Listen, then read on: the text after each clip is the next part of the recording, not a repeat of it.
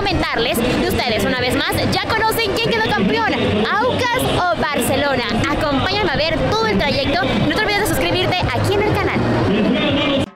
Y así inicia nuestra aventura, queridos aficionados del deporte, ingresando al estadio Gonzalo Pozo Ripalda para poder vivir esta gran final de vuelta. Acá pueden ver cómo estaban todos, cada uno yendo a sus diferentes localidades. Y cuando ya ingresamos al estadio, conocimos a varios hinchas y sus historias. Aquí les comparto algunas de ellas. Me llamo Vicente Augusto Betancur Alviar, hincha del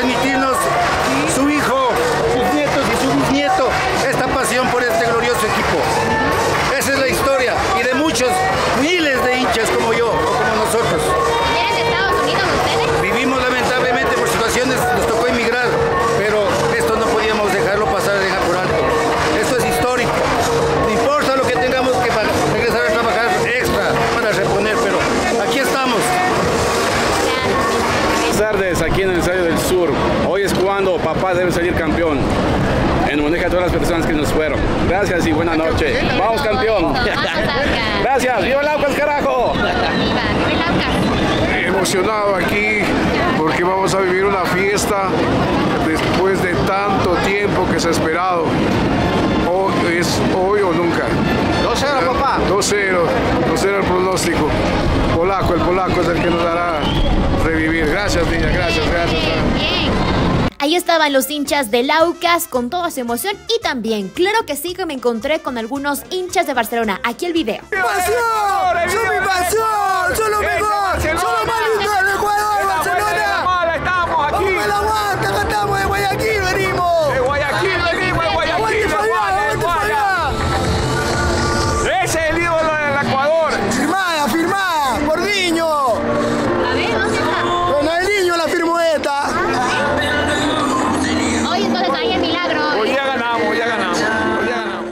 Ahí estaba la emoción de todos los hinchas y estuvimos también presentes en la llegada del bus de Aucas. Ahí podían ver a Víctor Figueroa, Hernán Galíndez, Frascarelli, César Farías y todos los eh, jugadores del Aucas que llegaban en ese momento, faltando casi dos horas para el partido. Comenzaba también un poquito a llover, estábamos con un poquito de frío mientras les grabábamos estas imágenes. ¿Qué tal les está pareciendo el blog? Como saben, quiero leerlos a cada uno en los comentarios. Aucas haciendo historia y estos son todos los momentos previos a que llegue ese, ese gran momento de que se jueguen los últimos 90 minutos y que Aucas grite campeón por primera vez en su historia. Continuamos también conociendo las historias de los hinchas, viendo cómo iba avanzando cada uno de los detalles y las cosas previas que les he ido compartiendo y cada vez más cerca a la hora del partido que era lo que nos interesaba, ver qué iba a pasar en los últimos 90 minutos y aquí continuamos con toda la información y detalles para ustedes.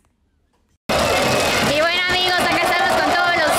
hinchas, todas las emociones y las cosas que hemos estado comentando junto a todos ustedes. Hay una emoción increíble. ¿Qué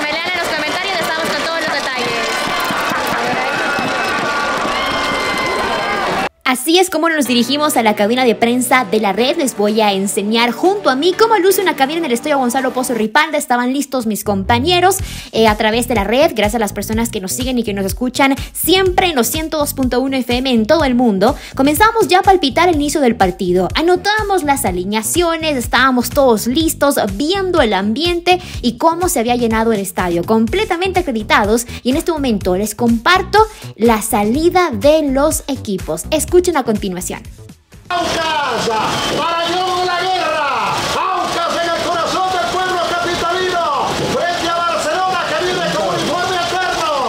Aucas Barcelona, la fiesta del fútbol a través de la red, la radio que siempre está. para- Seguíamos con las emociones, estábamos listos para un primer tiempo que fue bastante apretado entre ambos equipos, el 0 a 0 se mantenía hasta el final como ustedes ya conocen y después tuvimos un primer tiempo muy apretado y con dos equipos que estaban luchando por tener el esférico. Ya en el segundo tiempo vinieron las acciones importantes como este penal que les comparto.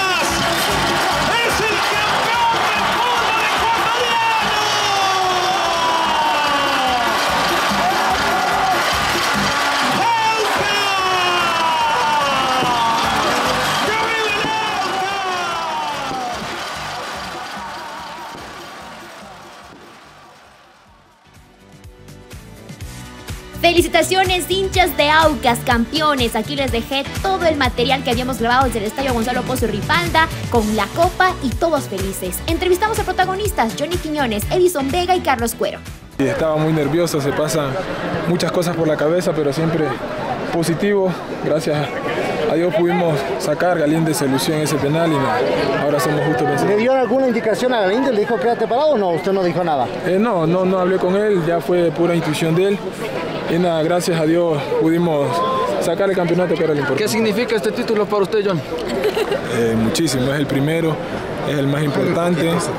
Y nada, estamos felices, que la gente disfrute, esperamos este momento que también disfruten nuestras familias, que se merecen esto. De, de una forma diferente, quizá lo que me tocó pasarlo en, en mi anterior club cuando pude alzar el, el título de este torneo, pero creo que es más lindo también en este momento con, con la gente que, que ha sufrido muchos daños, eh, no solamente el agradecimiento a la gente que vino al estadio, a la que no pudo asistir, sino a esa linda gente que quizás se nos fue de acá y desde el cielo nos mandaron esa bendición para hoy gritar campeones invictos. ¿Cómo es entrar en un partido bravo en el segundo tiempo? Bueno, creo que con, con mucha responsabilidad de lo que se viene trabajando, de lo que el entrenador me había pedido, incluso antes de iniciar el partido, y, y sobre todo con, con esas ganas de, de querer levantar la copa. Bueno, Carlos, ¿qué significa para ti este título con Aucas? Significa mucho, es el primero, el primero de la- de la institución y estoy muy alegre, más cuando está mi familia presente, y bueno, se los digo a ellos y a la hinchada. Ajá, y bueno, en lo personal, eh, ¿cómo está también la, la celebración? ¿Cómo va a ser para ti vivir estos últimos momentos también en esta semana? Porque seguro van a descansar y celebrar en familia. Sí, o sea, tranquilo, pasar con mi familia, es lo que me gusta. Eh, agradecerles por estar ahí conmigo, el apoyo.